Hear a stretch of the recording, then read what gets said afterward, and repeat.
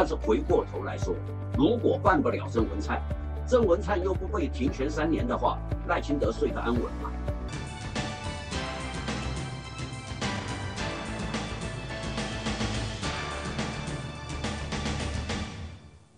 各位观众，大家好，我是有话直说的主讲人张友华。雷声大雨点小，郑文灿这个羁押庭一开呀，雷声很大，雨点很小。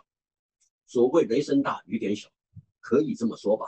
七月十号上午十点，台湾高等法院要重新裁定郑文灿的羁押案，然后再发回桃园地院更裁，看要不要羁押郑文灿。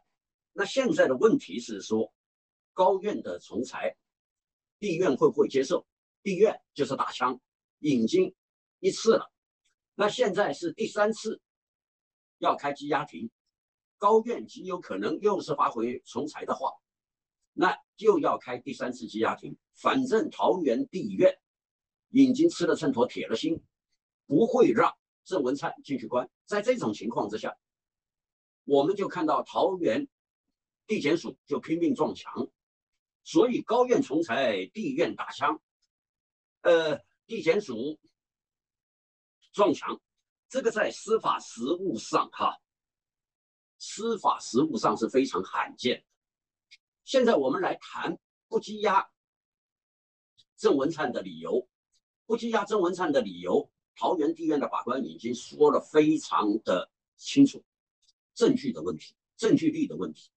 但是事实上，羁押的条件会有很多，就是我一再讲的，勾串、灭证，好，第二个逃亡，然后第三个重罪，就是显然在证据力方面，我们看，因为桃园地院不允许检察官进行搜索，所以要搞到证据是非常的困难，因为很少一个贪污犯。你不去搜索他的家，因为他钱藏在哪边，你未必知道。就是说，很多贪污，他甚至于把钱弄到防水袋，藏啊，呃，藏到那个游那个游泳池内。有的人是重新砌墙，把它砌到墙内去，然后随时可以打开。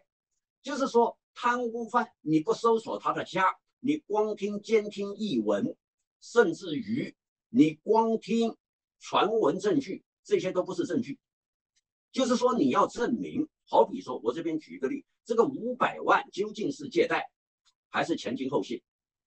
虽然郑文灿他很无奈，他说这个是借贷关系，但是一个县市长像像一个土地从化主去借贷，呃，讲讲出去笑死人。但是你你就是要证明，你就是要证明这个是不是赃款。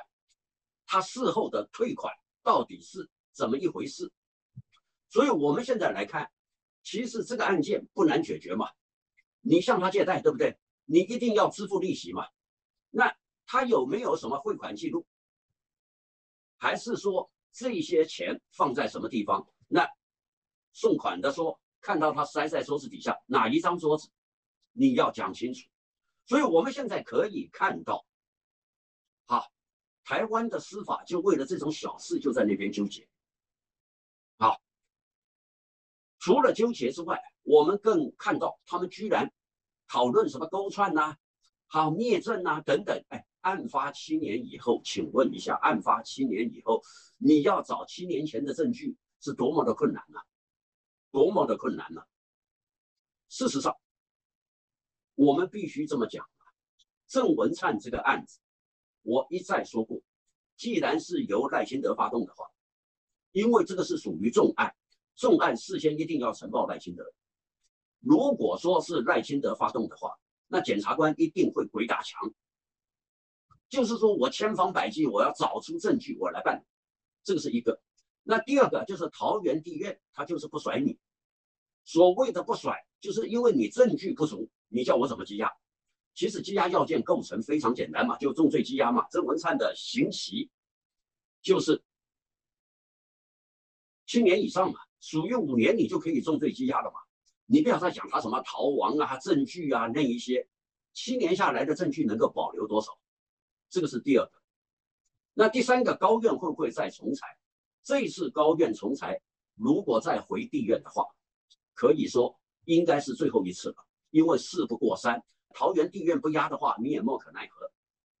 所以我们可以这样子讲，好，如果说哈，如果说七月十号开重裁庭的话，高等法院开重裁庭的话。如果高院再发回更裁，这可能就是最后一次了。反正事不过三嘛。从这个角度我们来看，压不压郑文灿，可以这么说，你要贯彻赖清德的意志，那检察官就必须鬼打墙。其实第一次的理由跟第二次的理由都差不多。那这些理由你能不能说服桃园地院？我们必须等着看。但是回过头来说。如果办不了郑文灿，郑文灿又不被停权三年的话，赖清德睡得安稳吗？虽然民进党认为这不是宫斗，这不是赖清德要斗郑文灿，但是各位去看看啊，打诈、黑金、贪腐，必须处理，不得不来。为什么郑文灿听到这句话马上辞海基会董事长？你就可以看得出来，郑文灿的案子是非常奇怪。这个奇怪是在于说，为什么桃园地院对于他在同一间办公室办公的地检署检察官拼命打枪？我们应该去探讨这个幕后的原因，而不是看他表面因素。其实，现在再压郑文灿对这个案情没有什么帮助，因为证据就在那个地方，能够收集的，我也相信检察官已经收集了。但是你收集的证据，你要如何巩固、如何补强，还要看桃园地院的配不配合你。如果不搜索的话，我已经讲过了，你不搜索，你很难让郑文灿进去。这个是一个值得观察的现象。如果你不搜索郑文灿的办公室、居住所的话，你很难找到证据。你光凭你现在手中掌握的证据，想要。羁押郑文灿的话，那大家就看司法的签印，抽签的签啊，司法的签印，郑文灿是不是抽到，或者桃园地检署抽到？所以我们今天去看这个案子，还是这么说：如果发回更裁，又被桃园地院打枪，桃园地检署要不要鬼撞墙？那再回过头说，如果桃园地院下一次，好，今天是七月十号。七月十二号再开羁押庭的时候，桃园地院还是不押，那你桃园地检署，你该怎么处理这个问题？赖清德要怎么面对这个问题？这才是大家关切。